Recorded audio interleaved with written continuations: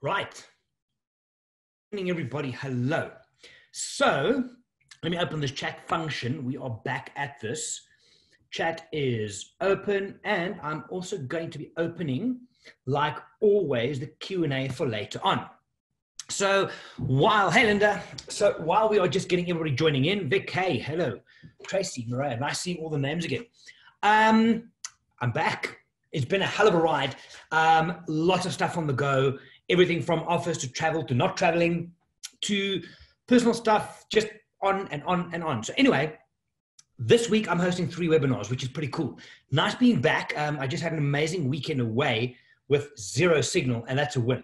There is nothing like going away and just having that full on, just total break. It's been amazing.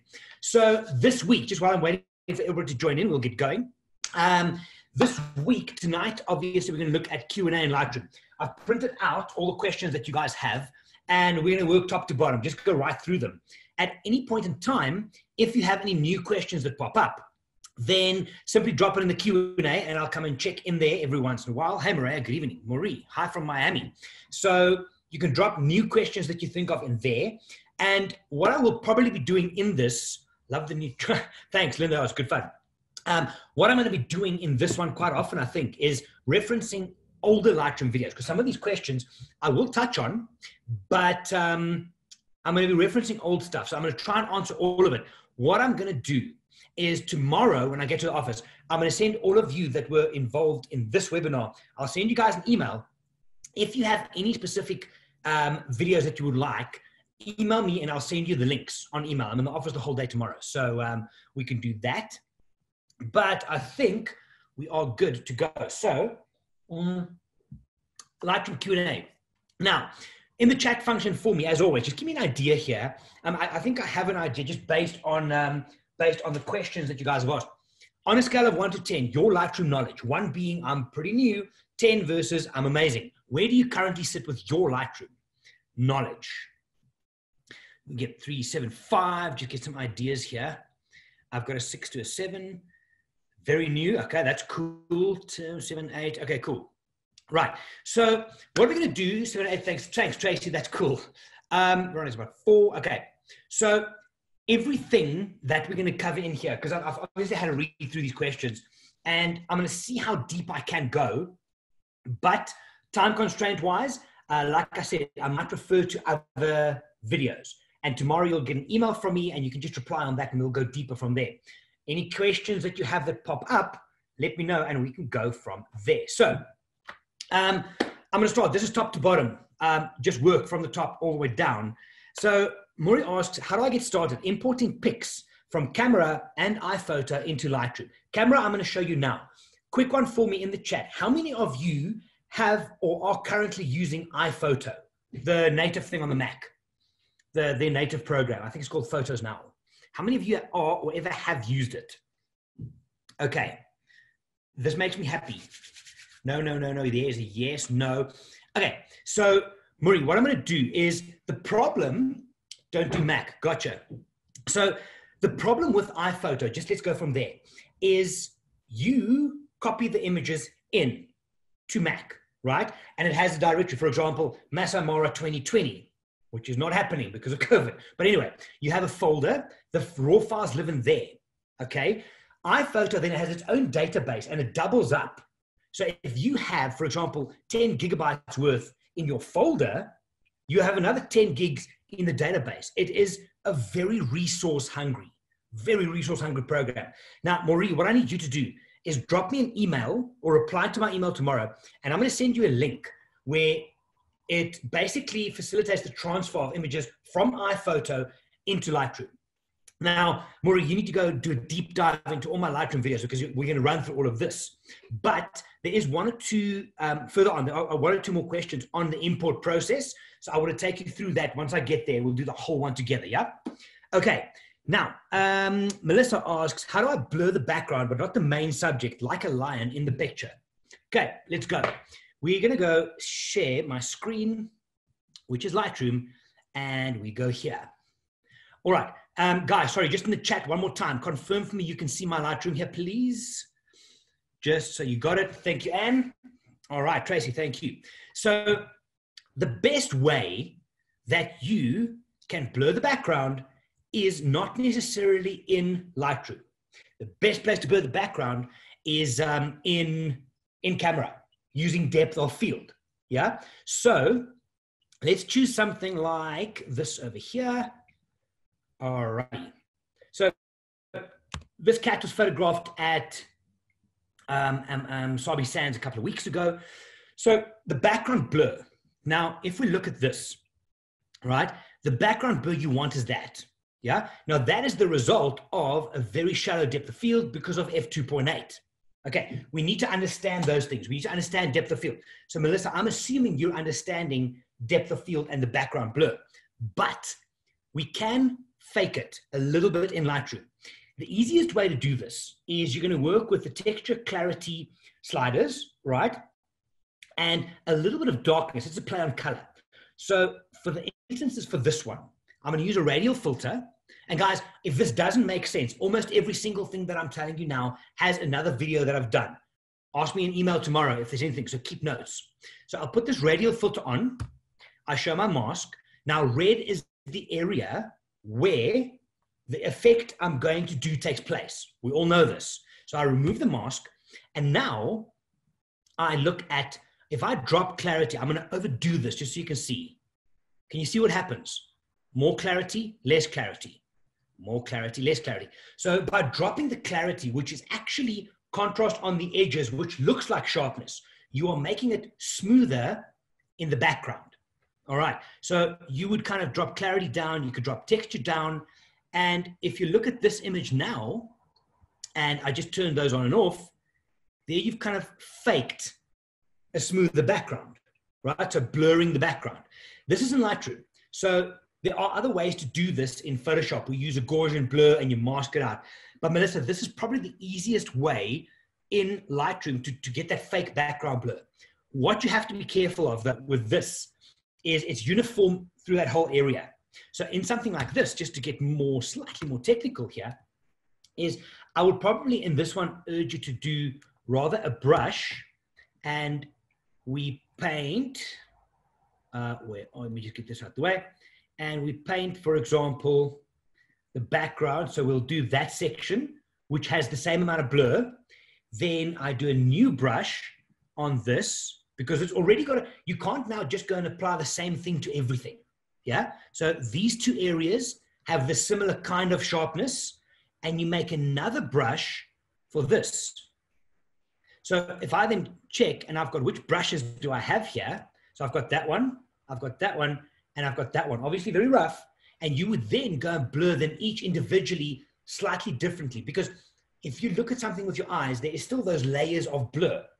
Yeah. So look, look at where you're sitting now. Look at your computer and just be aware that whatever's behind it is out of focus. So by doing this, you're probably going to get a better result of blurring and kind of playing with those different types of blur. Melissa, I hope that helps. All right, moving on here. Um, Whitney says clarity issues. Now, I'm not sure what a clarity issue, perfect, good stuff, Melissa. I'm not sure what a clarity issue is, right? But let me try this. The clarity slider, right? These three sliders are all based around contrast. The main contrast slider is at the top over here, which makes darks darker and lights lighter throughout the whole image, right? The whole image. If I come down, texture does contrast around more of a fine version, but around the highlighted areas, okay? Clarity does edges and contrast edges around the darker areas and dehaze does it in the smooth areas. So what clarity does is, for example, it takes the area here, any edge, any edge. You've got this piece of grass here. So where that piece of grass meets the background, there's an edge, right? Clarity enhances that, right? So, and it makes it look sharper, but it's not real sharpness. It's fake sharpness. So the problem is with clarity, and this could be an issue for those of you that understand this a bit deeper, is watch what happens to the image when I jack the clarity up all the way. Okay, it becomes quite dark. Ooh, look what it does to the eyes. That's quite neat. So, but the whole image gets quite dark. If you go down, it becomes quite light and it looks really, really bad. Please don't ever do that. Okay. But as a guideline for you guys, and those that have worked with me privately should know this, that more or less for every five clarity points that you go up, I would suggest you lift your shadow up by one or two to balance that darkness, that clarity gift. That to me is the main clarity issue. Um, who was this? Whitney, I hope that helps. But clarity as a thing, it's a great slider to use, but please be careful. It can be overdone very, very easily. So clarity issues. I do think I have a video on just clarity. Ask me in the email tomorrow. Okay, we have got here. Um, who's this? Valerie says she doesn't have Lightroom, just an educational viewing for me. Um, Valerie, if you are looking at any kind of images, doesn't have to be wildlife. Lightroom is the easiest thing with which to um, with which to not only edit images but catalog as well. Phenomenal. And I'm going to show you a couple of things later on that you can also do with it based on some of these questions. Right. Um, so I've got one here from Hannah. Says a simple step-by-step flow from SD card shooting RAW and JPEG to a meaningful and efficient library and photo storage backup. Now, that kind of links to Maurice, Maurice's question from the beginning. That's a big question. So, what I've done, just as a quick one here, is I have got a um, an SD card attached in here, right? And it is the one that I just shot some drone footage this weekend.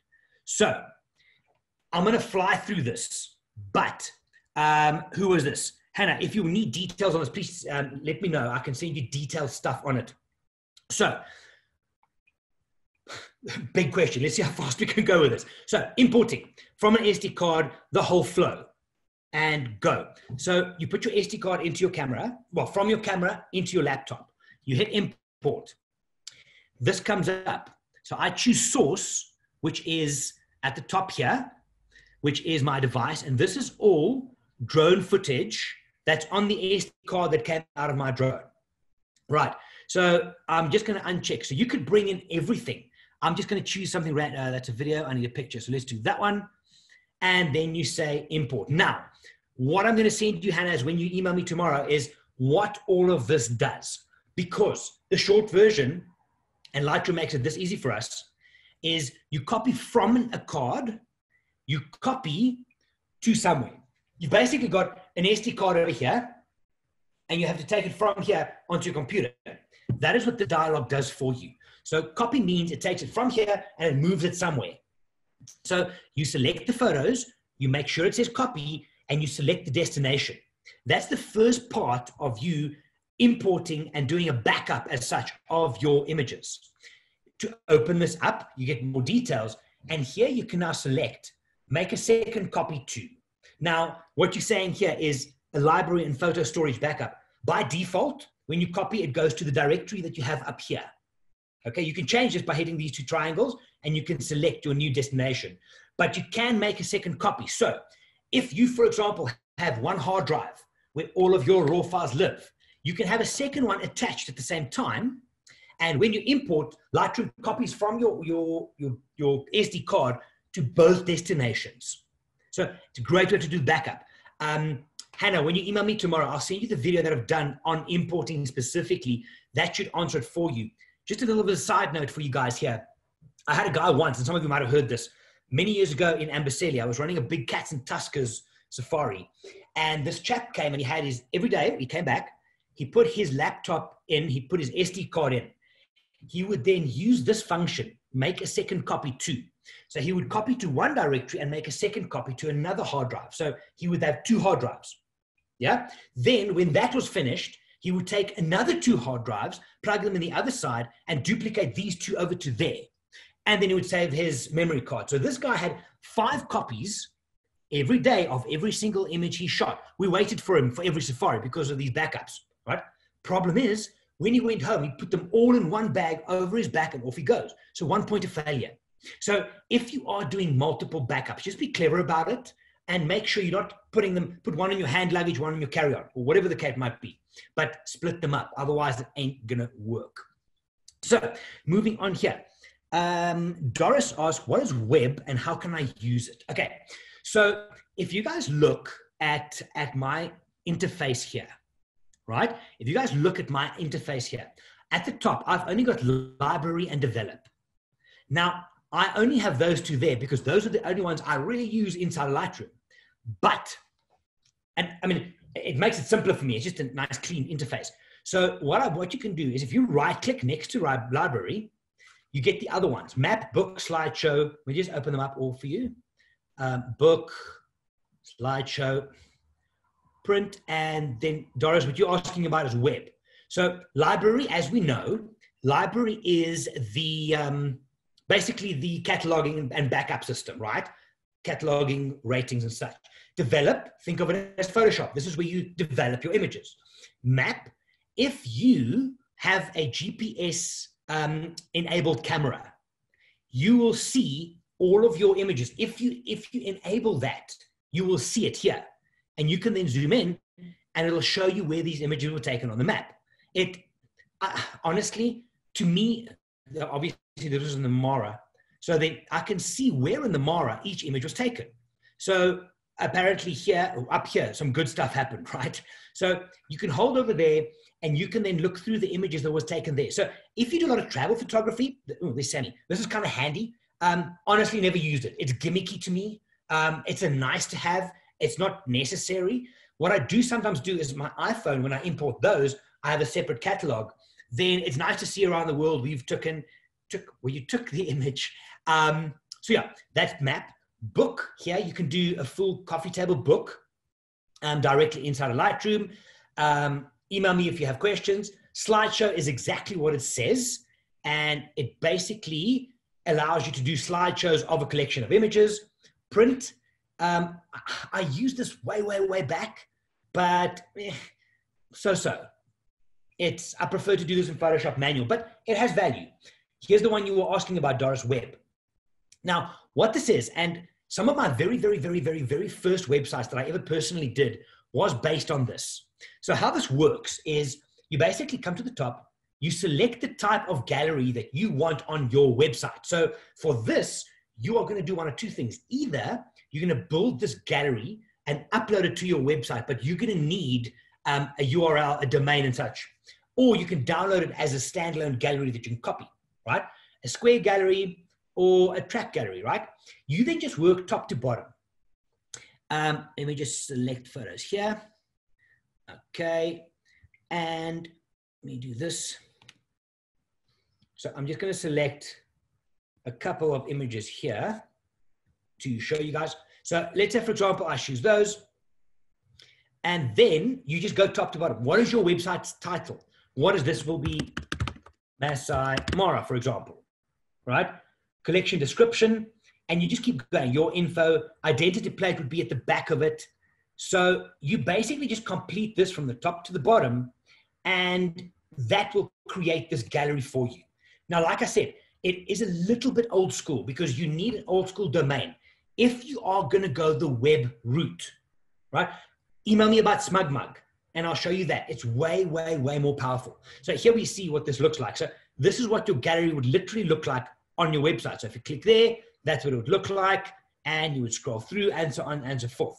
Um, and then as you change, you just, you literally just change from the top down and it gives you every single thing and it, it's real time. So you can then see what you are going to get when you upload it to your website. Again, if you're looking for a website, Doris, I wouldn't go this route. A little bit old school. And for me as well, I mean, think about this.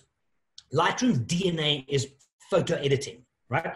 Lightroom's DNA is not website based. So I would choose to do my website through a company like SmugMug, which is DNA based on photography, if that makes sense. Okay, web. Um, Alyssa asked, what shortcuts in Lightroom can streamline your process? Lightroom versus Photoshop, what makes Lightroom a powerful tool? Okay, so this I can do for you as well, is if I come into library, right? Um, for those of you that are keen, ask me when I email you tomorrow, ask me about the Lightroom keyboard shortcuts. It's not the newest version, but it still all works. I think it's about 14 pages of shortcuts. There's a lot. So, Alyssa, I'm going to quickly run through as many as I can in a short amount of time. Most important one is G.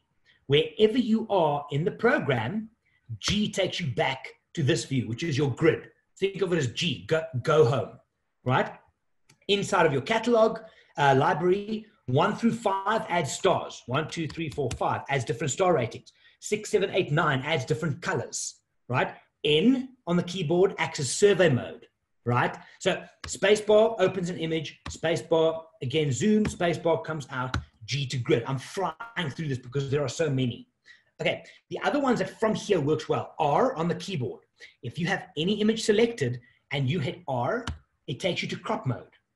Straight up, there's Sammy, right? So R opens crop mode and R closes crop mode. G, back home, D for develop. So you should be using G and D and R to a certain extent so often that they should be worn off on your keyboard. That's how important they are. So um, email, ch- chat to me tomorrow if you want the full PDF. I'll go find it and I'll email it to you guys. And then what was this? Lightroom versus Photoshop. What makes Lightroom powerful? So the the big thing here, people must understand this still. If I take Lightroom and I take Photoshop, think of it as two vehicles, right? You park them next to each other. If you open the bonnet, inside, the engine is the same. Whenever Lightroom gets updated with new technology, so does ACR, Adobe Camera Raw, which is basically Photoshop's version to do that. Shortcuts are the same. Maybe I should do a webinar on that in the future. But the interface of Lightroom, how it drives, is so much easier, right? The, the user interface for Photoshop, because it's uh, built around 3D and you can even do video editing and stuff in there, um, it's not as easy as the slider based. So for me as well, library and develop, where you spend most of your time, Alyssa, it's all in one. Lightroom, um, Photoshop, you can't in Photoshop Go, you got to open Bridge, and they link seamlessly. But inside of Lightroom, everything you need is in one program. So it's a win. It really is a win. All right, um, moving on here, guys. If you have any new questions, I will be checking in on the Q's questions a little bit later on, so you can pop them in there. Victor asks how to use the range mask in auto brush. Okay, Victor, great question. So let us pick something over here. Let, now, Range Mask is one of the latest additions to Lightroom when they did the latest update. So you'll find the Range Mask tool in all three of the special adjustment brushes, right? The graduated filter, the radial filter, and the brush. So we'll use the brush for now. Actually, I'm thinking I'm going to use graduated filter Victor just to show you what it does. And then you can extrapolate that to the brush, right? So what I'm going to do is I'm select this and I'm basically now, we turn range mask on, I do this. All right. So I've literally highlighted the entire scene. When you brush, you'll do a selection. Now, range mask sits down here. Range mask will affect only the area that is selected. That's why I'm showing you the whole image. You can then extrapolate to the brush. So when range mask came in, you can now select color or luminance. Color, you can choose one particular color and Lightroom will apply the adjustments that you do at the top to only that color. I'll show you now. Or luminance is a certain level of brightness. So I'm going to turn my range mask off. And now I choose range mask and I say, okay, choose a color. You now take this color picker and I select something on this image. Let's say I select this nice green down there. Now I turn my range mask on. Watch what happens. So Lightroom has now looked at that entire image and it has taken only that particular color tone and the adjustments that you make up here will only apply to that area. Watch when I turn my range mask off. So for those of you that are not sure, sorry, the mask, is the red areas just show me where the adjustment's going to happen. So I turn that off. Watch now. Anything I do will only apply to those dark areas. Okay. Super, super handy if you want to get different levels and you don't want the entire image to be darker or lighter. It is you select it down. Great tool. Now, let's rather go with the luminance option. So what this does is you basically here show the luminance mask, that's the entire image. You now take your color picker and you select a certain brightness. Let's say I select that. Okay, the red areas are the areas that will be processed by whatever I do. Got it? But watch here, the range down here is set automatically. You can fine tune that by pulling the right one, which is the brights, and the left one, which is the darks, closer together. So watch. you can fine tune this to only select and process certain areas. So if I do this, I take my range mask off. So I just click there.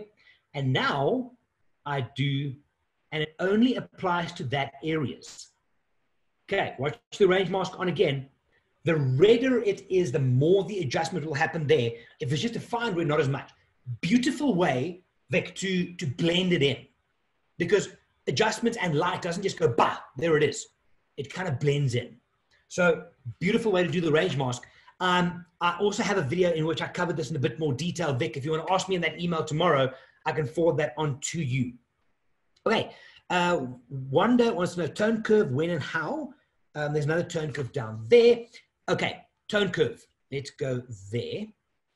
Uh, the tone curve is basically it's under here. Tone curve, visual tone curve. Okay. Now, Wanda, the same um, video I just mentioned to Vic, I covered this in a bit of detail as well. So you got the parametric tone curve, and then you can also do one where you select individual points. Now, what the tone curve's goal is, we do this. If you understand these sliders, blacks, whites, shadows, and highlights, tone curve basically does the same thing, but it can be more detailed. Okay, so if I come down and I choose there, parametric, these sliders are very, very similar to the ones at the top.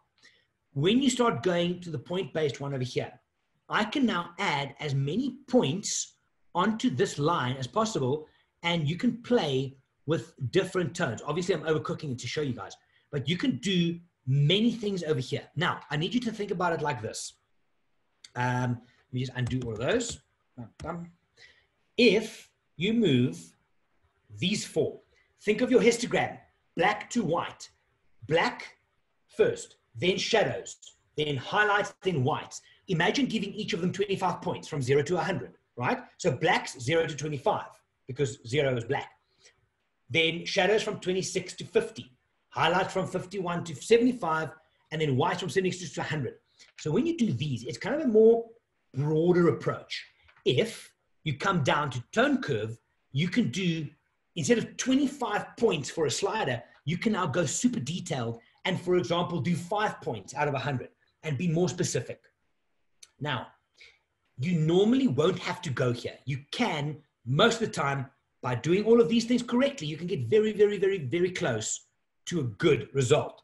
But it is worth playing with tone curve every once in a while, depending on the dynamic range in an image, how much or little there is. But again, there is a video. I will share it with you tomorrow if you want to dig a little bit deeper there, Wanda. Okay, Tim asked, one master catalog or several? Many advise using a single catalog, but this slows my Lightroom even if the catalog is on an external SDD, SSD, solid state drive. Um, Lightroom brags that you only need one uh, catalog. For those of you that don't know, Lightroom works as a catalog. It's basically like a photo album. You can't read two photo albums at the same time. It's confusing. Lightroom can only open one at a time. Okay? So when you read one at a time, then the other one's closed. So if you're going to have multiple catalogs, right? Remember this. You have to close one before you open the next. You have to close one before you open the next.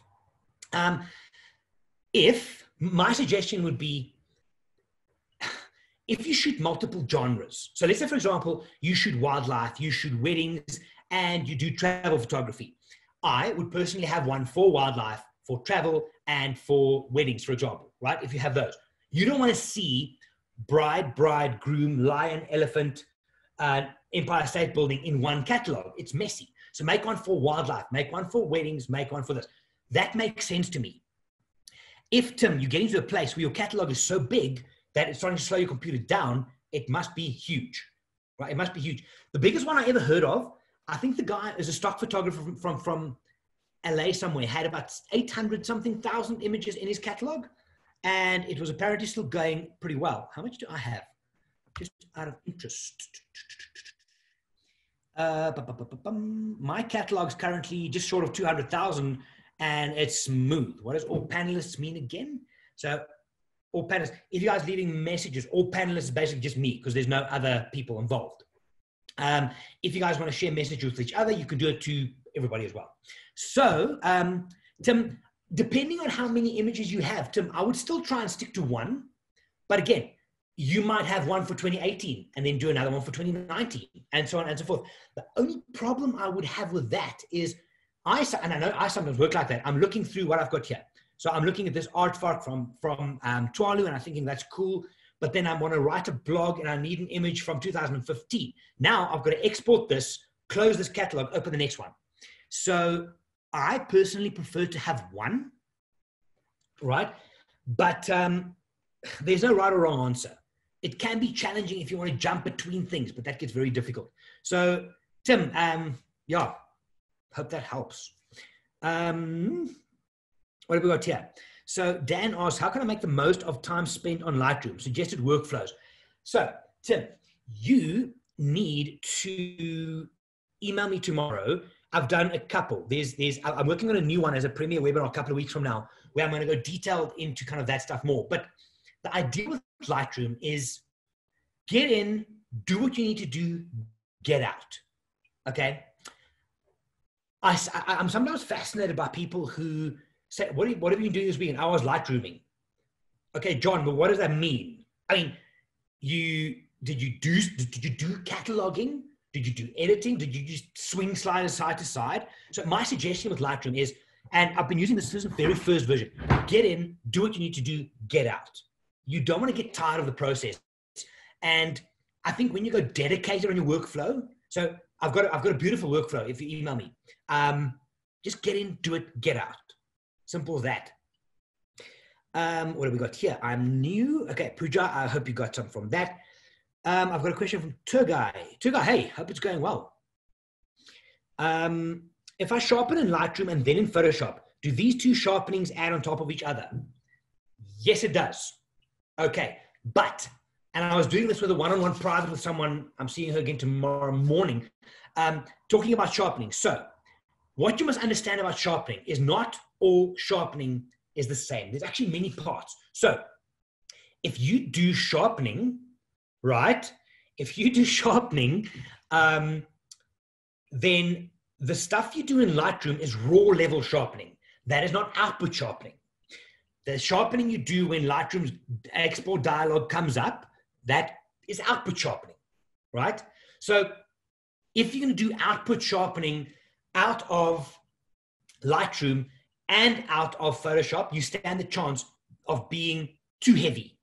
Okay, you stand a chance of being too heavy. So yes, they do double up, but you don't want to do that. You need to understand that Lightroom is raw level sharpening, okay? And Photoshop and Lightroom can be output sharpening. There's a thing. I actually think I did a blog post on that. I'll go find it for you, Turgai. But be careful. Rather under sharpen than over sharpen. It's a big deal. Big deal. Big deal. Okay. Um, work on a specific color, Belinda asks. Okay.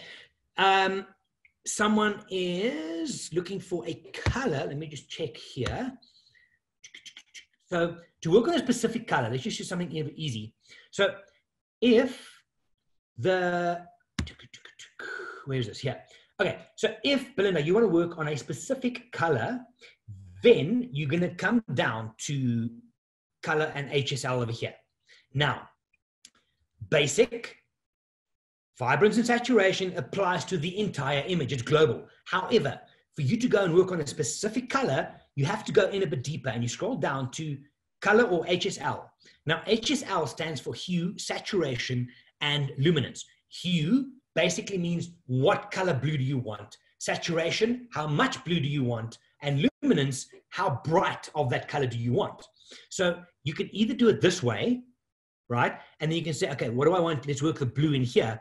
Then you can come to the blue slider and you can only manage that area. Okay, that's a bit psychedelic. Don't do that. Saturation, you can just dial up saturation or then the luminance as in how bright and dark that is.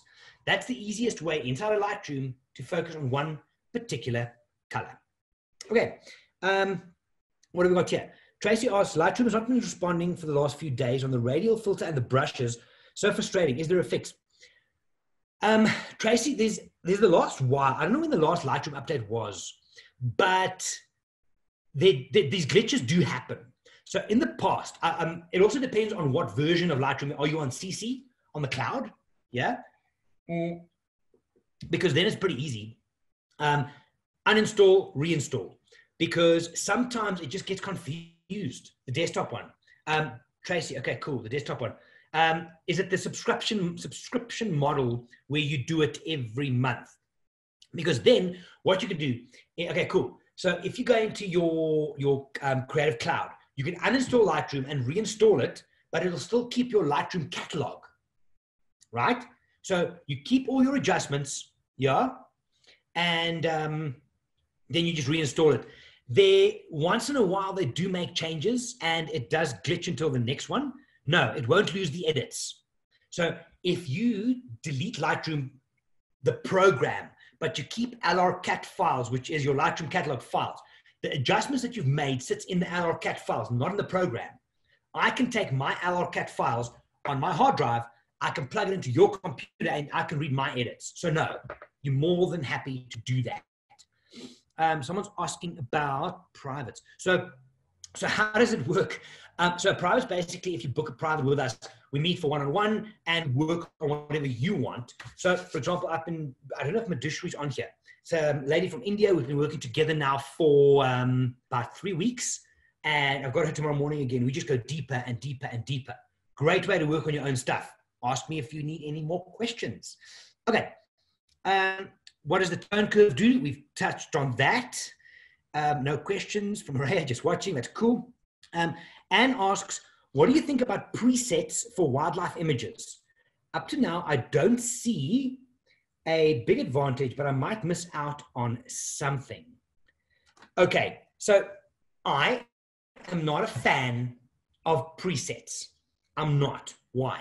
So, um, and I might have a bit of a rant here as well, but give me a session here. So if I go to this image, for example, and the presets are down here. So it's color, natural, bright, high contrast. To me, this is the easy way out. The problem is, how many people use Lightroom around the world? Millions, right? So people, okay, Vivid, check and done. It's a super easy thing. And if Lightroom was a difficult program, I would think, you know what? Maybe, sure, maybe do presets. It's image based. You might get lucky by clicking on some of these, right? And you can see the previews that you have over. But Lightroom is such a super easy program. Why do, why don't you need it? it? It just, I don't know.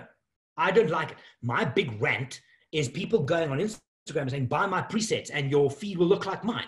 Uh, no, Sarah, it won't because your preset is designed for your type of photography. Your presets are based on the certain color tones that you want in your images, right? So it's for example, so so so what about people that aren't good with Lightroom? So, no, learn Lightroom. Be better. so, Lightroom is an easy thing to learn. Think of Instagram, for example. Those of you that are on Instagram, you can take a picture, I can take a selfie, right? And then I go and I can apply those filters. A filter is a preset. So, some filters look good on some images, but now, how do I know my sable shot's gonna? I don't know. To me, I would just go individual right? So there it is. Okay, um, just watching learning. So I've got the last one from Jane here asks, if I work on the original RAW, then make a virtual copy so I can res reset the original, can I keep the edit history? Yes. Yes, you can. So if you take a virtual copy, so I can take this image with all the adjustments that I've made, I can create a virtual copy with, here's another shortcut, command apostrophe, and it duplicates it, it keeps everything.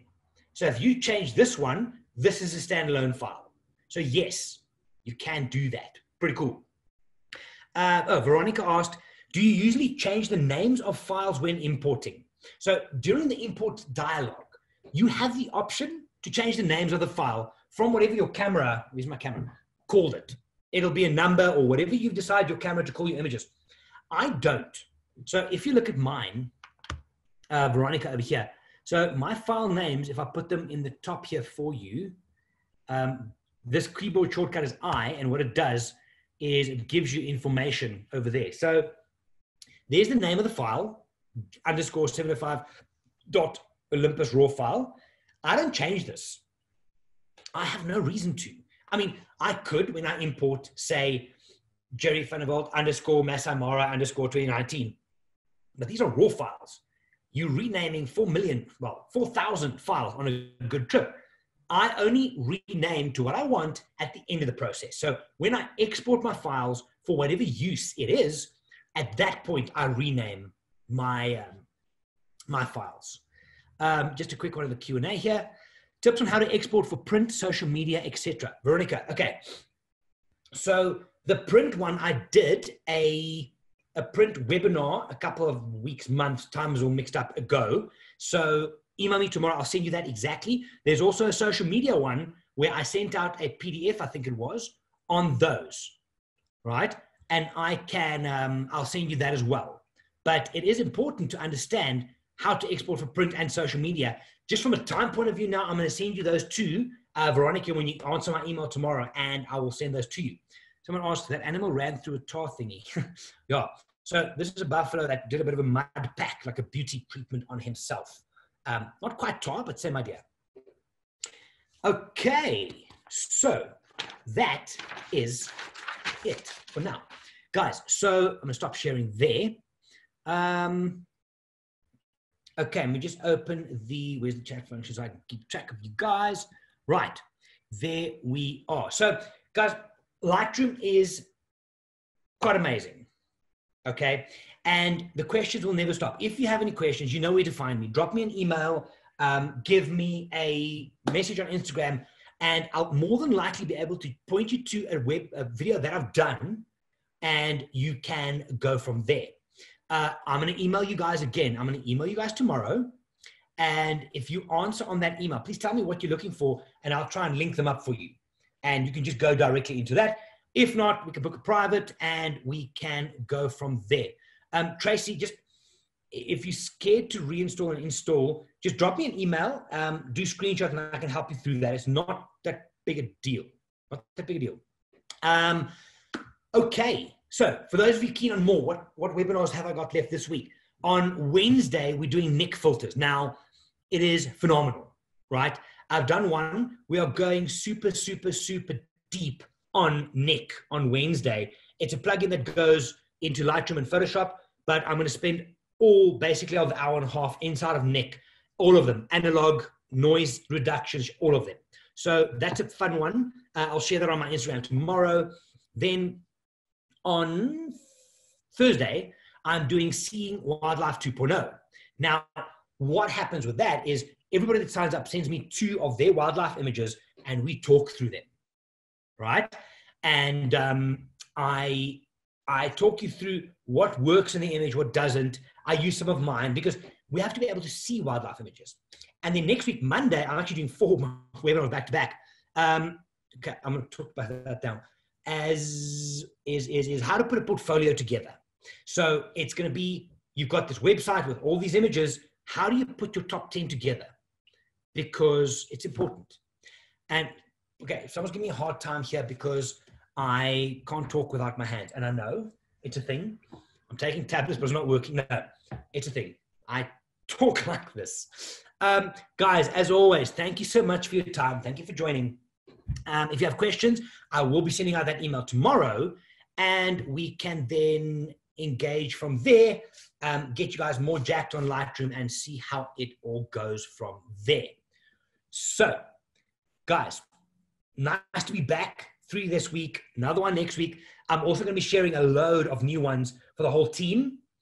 Um, and then I might have Italian genetics in me. See, now I talk with my hands. Now I'm Italian. Yeah? Apparently. Okay. Anyway, guys, wherever in the world you are, good morning, good evening, and good night. My name is Gerry. I'm from Wild Eye. I will see all of you on the next episode and podcast tomorrow and webinar. Guys, have a good one. Chat to you soon. Bye.